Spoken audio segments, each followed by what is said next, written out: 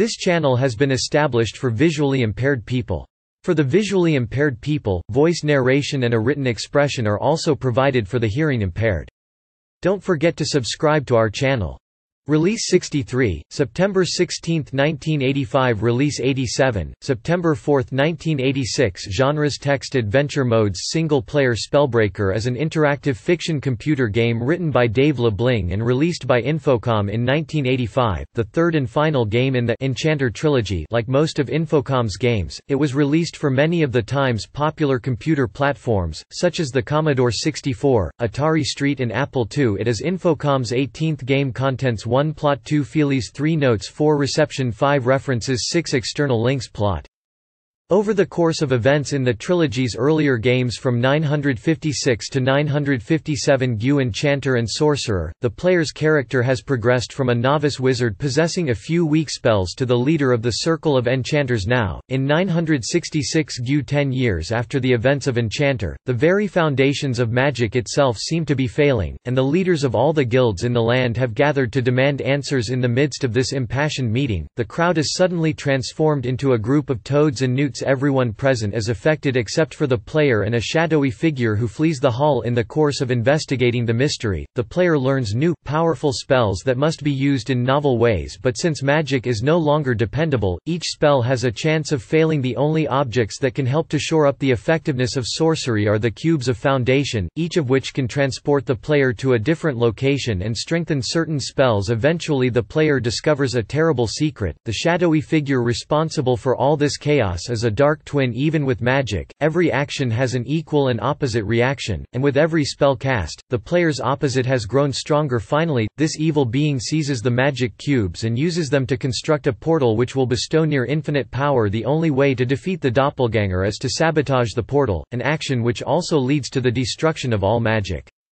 Feelies Spellbreaker was no exception to Infocom's long-standing tradition of including extra items in the game package The Feelies for this game included, a Frobozz Magic Magic Equipment Catalog, Special Crisis Edition and Enchanter's Guild Pin 6 Enchanter cards, baseball card-like items each containing a picture and information about legendary wizards in keeping with another Infocom tradition. These Feelies also provided a measure of protection against software piracy at one point in the game. Belboz would ask a question whose answer answer could be found on one of the Enchanter cards notes as the final game of a series. Spellbreaker was intended to be very difficult. Computer Gaming World's adventure columnist Scorpia stated, This one is a toughie, folks labeled as an expert level game. It is widely regarded as one of Infocom's toughest releases. Some players even criticized it as an effort to boost sales of the Invisiclues hint system perhaps due to its legendary difficulty. Spellbreaker was never as popular as either of its predecessors in the Enchanter trilogy, despite a fair deal of critical critical acclaim One of the game's innovations among Infocom's works was the ability to name objects as the